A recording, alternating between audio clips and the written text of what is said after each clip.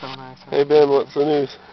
I uh just got a 37.0 on my MCAT. That's kind of a big deal. That's like uh, that's kind of higher than oh I don't know, the average at Harvard and Yale and stuff like that. It's harder, higher than medium.